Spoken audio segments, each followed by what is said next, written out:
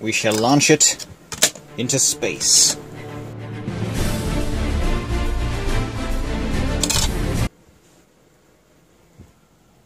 Okay. Nice try, GameCube. You'll do better next time. You know what helps me out when I'm powering through some bad or dysfunctional games? If I stop playing them. What helps me recover from that?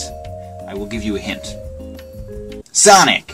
It's one of those series where even if you're playing the bad or dysfunctional games, at least you don't go to therapy when you're done. Or maybe that's just me. Since Intellivision Lives was a remake of classic games ported onto the GameCube that basically turned old games into... not games. I truthfully felt kinda bad making fun of it. I mean, classic games are so important to the world of gaming that we live in today. If those fresh off the boat gaming companies hadn't taken a gamble and invested in a market that nobody knew would hold up, we wouldn't have the lifestyle that we do today.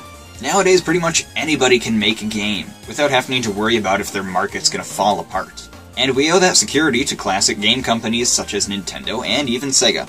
So it's time to pay homage to those games again, but this time, actually being able to play them. Sonic Gems and Sonic Mega Collection both for the Nintendo GameCube. Much like Intellivision Lives, these are just old games put onto new games for consoles like the PlayStation 2 and GameCube.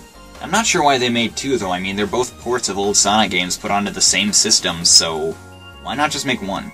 I guess this was the era where most companies and games were turning 15 or 20 years old, as it was the early 2000s. And if you're gonna port some games, why not port all the games? I mean, seriously, the GameCube itself must have like 80% of all Sonic games playable on it. You got the adventure game ports, the port collection ports, and heck, you can even play Game Boy Advance Sonic games on the GameCube, so it's pretty much all you can eat. Let's check out Sonic Mega Collection first. I don't want to sound like a love at first sight person, but the fact that this game has a collection of all these classic hits that people, even like me, may have played during their childhood, this port collection itself became insanely nostalgic for me. This menu music itself just gets me excited every time I start it up. I guess it would make me more of a love at first listen kind of person, if that's a thing. Ooh, and look, it's Star Wars 2! So on the main menu you got games, manuals, extras, and options. The games are the heart and soul of this game, so let's check out the extras first, which I guess will be the kidney. Here you can check out comics, pictures, and more.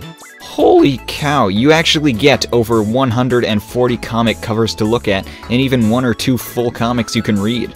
It's actually pretty darn cool to be able to play all these old games and get to see what the old comics were like too. It's like taking a trip back in time. You also get this music that sounds kind of sad but intense at the same time while you're watching and listening to these things. I mean, it's catchy, but kind of an odd tune to play.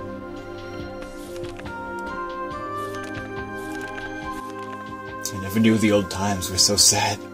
It's just a hint of insanity. This is weird music. You also get to look at art from the games and some cover art too. Oh, is this a greeting card? When did this happen? Where was I when they were selling Sonic Christmas cards? Why does Amy have a cell phone? Okay, on to movies. You can see some intros, game cutscenes and stuff. There's actually no movies here, very deceitful. But you even get an advertisement for Sonic Advance 2. Uh, that's kind of random. I mean, you have to unlock this stuff, keep in mind, so you're working to unlock this clip so that Sega can sell you more games. Sold! Okay, so let's move on to manuals. This may seem kind of pointless to some people that you can look at the manuals, but you actually get to flip through the full original pages for the games featured in this collection. This is a lot cooler than you would think though, those manuals are actually really hard to come by before eBay existed. Very cool extra. Okay, enough of the filler, let's check out the game selection. So in Mega Collection you get the core games like Sonic 1 through 3 and Knuckles. You've all seen those before, but you also get a few that you may have forgotten, like Flicky and Robotnik's Mean Bean Machine. Boy, that sounds thrilling. Let's check it out! Robotnik, what is your face? Okay, so you get a few modes here, and I might suggest skipping exercise mode because we're playing games, exercise is off the table. Okay, so let's go with scenario mode. This guy is excited to play some Mean Bean Machine.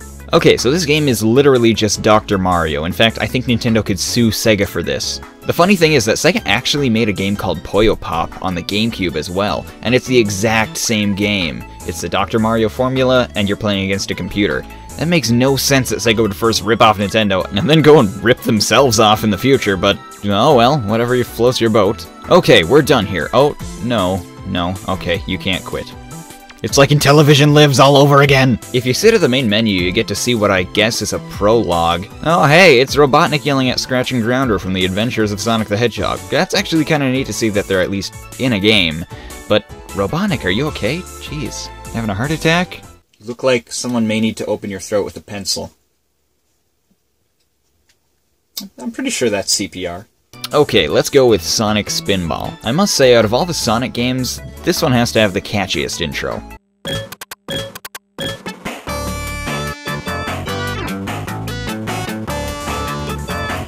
Now, most people go straight to the game, but I am... I probably am most people, but I like to go to options first. Oh, what is this? What is happening to my ear? I'm still kind of deaf from Intellivision, but Oh, this is terrible. Uh, look at Sonic, he looks like he's slowly dying yet trying to keep his composure. Also, why does C do all? So in short, all the games work good, and you can also unlock more games. I've never done that even though I've played this game like crazy. According to the interweb, you unlock games depending on how many times you've started the game up, which is really dumb. I mean, like I said, I played this game a lot, but it's not like I started up over and over. Ah well, the unlockable games aren't that great anyways, so let's move on to the Sonic Gems collection.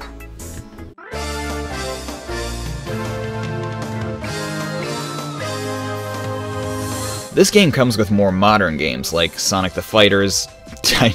okay, yeah, Sonic the Fighters. Who came up with that? Yeah, what is in a name? Well, I guess letters are, but anyway, and there's Sonic R, both of which deserve a video for themselves. You can also get Sonic CD and some Game Gear games as well. The game even has Tails Sky Patrol and Tails Adventure, pretty much the only two games that are just for Mr. Prower. That was a weird thing to call him. Um, ignore that. Let's check those out first. Okay, did I miss something? Who are these? Is that Sonic the the bear hog? So you control Tails and he's got this ring attached to his his butt, and um, you just go forward and it just keeps getting caught on stuff. It's actually kind of hilarious. Okay, I clearly lack the skills to play this game, so let's move on. Let's try Tails Adventure. I actually played this one a lot, and the game lets you save your data with all of them. Something that was lacking in Mega Collection. This game is very different from most Sonic games. The controls are kinda complex, and it's very slow paced. You get to use lots of gadgets and stuff, and it's overall a pretty fun game. I'd love to see a sequel. You can also go to Tails' house to equip items or do some other stuff. Also, robot head dismantled and robot guts.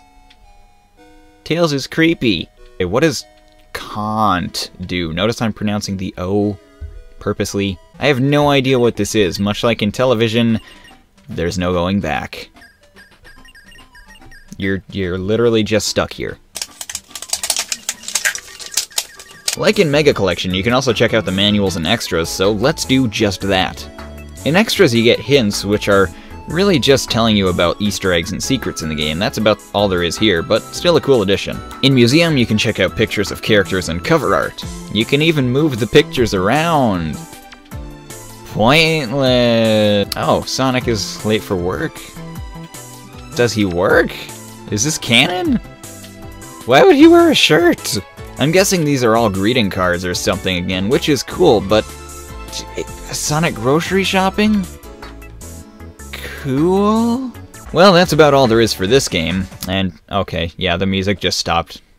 I didn't edit that, it literally just stops if you sit there, so I guess that's my cue to leave. So those are the games, and I would actually suggest getting both of them, because they actually both have games that are worth getting, without having to spend money on old systems and games. I think it's safe to say that Sonic Gems Collection might be the one you'd want to go with if you have to choose only one, though. All the core games on Sonic Mega Collection, like Sonic 1, 2, 3, Sonic and Knuckles, etc., are pretty much available on any system, such as DS, even the Xbox 360. Whereas games like Sonic R and Sonic CD are much harder to come across. So I hope you guys enjoyed this video, and I hope all those classic games will forgive me for making fun of Intellivision Lives after this video. Until next time, happy holidays, Merry Christmas, have yourself a wonderful day, and I have a question for you. Can you feel the sunshine?